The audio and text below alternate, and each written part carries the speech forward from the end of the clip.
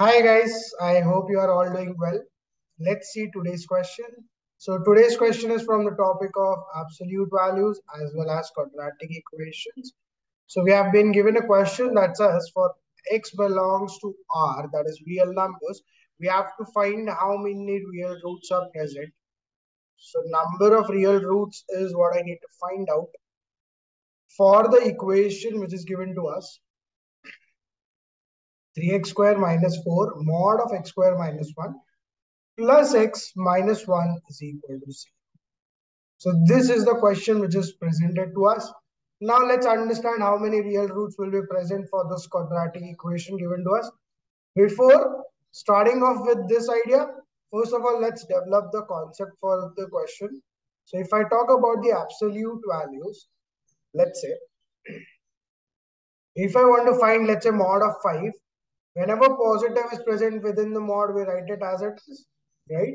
And if a negative value is present within the mod, we remove that negative sign and write it as it is.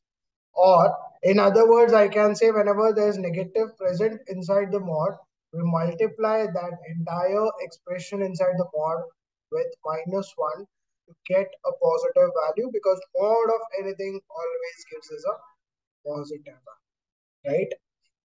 If I use the same idea, so if x is greater than 0, mod of x, whenever something is positive within the mod, we write it as it is, so it becomes x. But if x is less than 0, so mod of x, now the value which is present inside the mod is negative, right? So if I want to make that positive, I will multiply the entire expression with minus 1. that gives me minus x. Now it looks like it is negative value, but it's not negative. It's actually positive because mod of anything always gives us a positive. How it is positive? Minus is having a negative sign, but x which is present inside the mod is also less than zero. That's also coming with a negative sign. So negative, negative will make it ultimately positive, right? So this is the idea that will be following here. So let's understand how to solve this type of questions. So First of all, 3x square minus 4 mod of x square minus 1 plus x minus 1 is equal to 0. Now, how to solve this using critical key points method? Let's see. So whenever you want to use critical key point method, first thing what you do is whichever expression is present inside the mod, equate it with 0. What I get here is x square is equal to 1 because if I equate x square minus 1 equals with 0, x square becomes equals 1 so x becomes plus or minus 1 so i get two values of x here. So if i plot that on the number line what i get? Minus 1 this is 1 so minus 1 and 1 basically divide your entire number line into three regions right? Your first region is from minus 1 or it's between minus 1 and minus infinity. Second region is from minus 1 and 1 and third region goes from 1 and right? So let's check the values of x square minus 1 in all three cases because x square minus 1 is the expression which is present inside the model, right?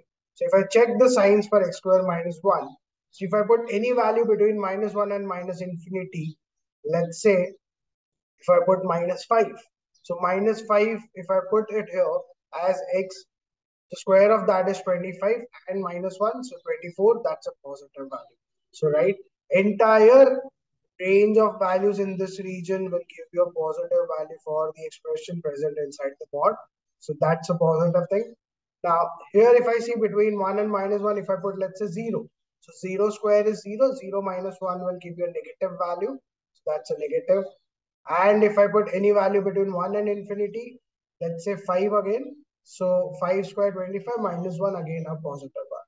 So these two regions give me a positive value whereas the region between them gives me a negative value, right? So what will happen is if I talk about mod of x square minus 1, so mod of x square minus 1 x square minus 1 is the expression which is present inside the mod in the first range from minus 1 to minus infinity or between minus 1 and minus infinity, this entire thing is positive. Whenever something is positive, we already saw that, we write it as it is. So I will write this entire expression as x square minus 1. Here if you see between minus 1 and 1, what you get is entirely negative.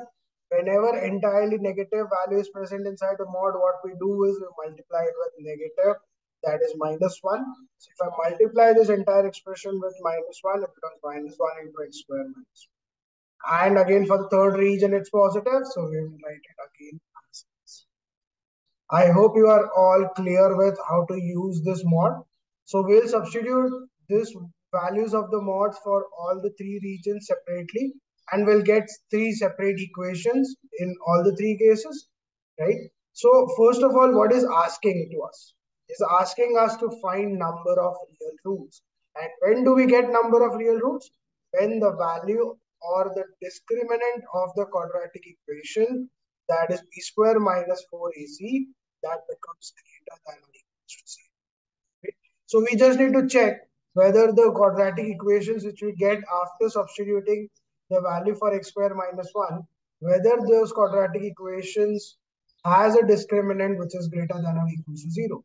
If the discriminant is greater than or equal to 0, we will get real roots for those quadratic equations, right? So let's check it. Now, we already have talked about this. The values for x square minus 1 is positive in the case where x values go beyond minus 1 and beyond 1, right? So if I talk about this, so when x belongs to minus infinity and minus 1, or if it is from 1 to infinity, in both the cases, x square minus 1 is positive, right? And when x square minus 1 is positive, I can directly substitute mod of x minus 1 as actually x minus 1, x square minus 1 because x square minus 1 is positive. So the quadratic equation becomes 3x square minus 4 x square minus 1 plus x minus 1 equals 0. So if I solve this quadratic, what I get? 3x square minus 4x square plus 4 plus x minus 1 equals 0. So I get minus x square plus x plus 3 is equal to 0. So if I get this quadratic equation, I can tell that if I compare this with ax square plus bx plus c is equal to 0, I get a is minus 1, b is 1, and c is 3. So if I find b square minus 4, what I get? 1 square minus 4 into minus 1 into 3. So 1 plus 12, that is 13. And when I see I get b square minus 4ac greater than 0, that tells me discriminant which is present, it's greater than 0, means I will get real roots in this case that will be real and unequal. And since the quadratic equation has the highest power 2, we get two solutions for this. So for this region for between minus 1 to minus infinity as well as from 1 to infinity, we get two real roots. So basically till now for these two regions, we have two real roots. Now let's understand what happens when your values of x lie between minus 1 and 1 where the entire expression becomes a negative value. We need to multiply that x square minus 1 with minus 1. So now when your values of x lie from minus 1 to 1, we already have seen that mod of x square minus 1 is negative. So we need to multiply this entire expression of x square minus 1 present inside the mod with minus 1. Take it out of the mod. So my quadratic equation was 3x square minus 4 mod of x square minus 1 plus x minus 1 equals to 0. Now it becomes 3x square minus 4.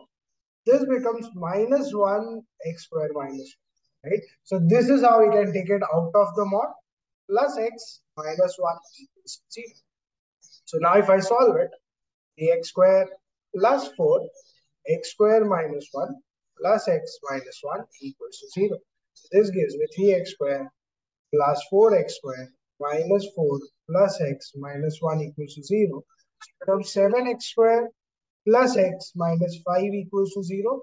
Now, if I compare the same things with ax square plus bx plus c equals to 0, what I get here is a is 7, b is 1, and c is 5.